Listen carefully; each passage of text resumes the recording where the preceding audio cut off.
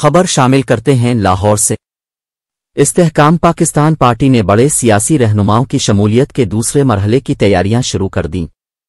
तफसीलात के मुताबिक, इस्तेहकाम पाकिस्तान पार्टी की क़यादत सियासी महाज पर दोबारा मुतहरक हो गई, जहांगीर तरीन ने वतन वापसी के बाद मुल्क भर में सियासी रबते दोबारा शुरू कर दिए हैं।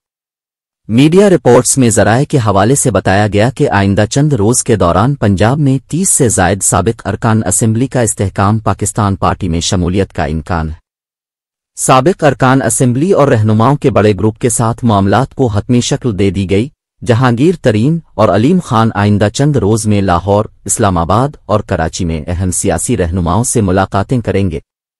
खैबर पख्तूनखा की बड़ी सियासी शख्सियात के साथ भी इस्तेकाम पाकिस्तान पार्टी की क्यादत ने दोबारा रबता किया है। जराए के मुताबिक रवां हफ़्ते पार्टी की इलेक्शन कमीशन में रजिस्ट्रेशन का अमल भी मुकम्मल कर लिया जाएगा।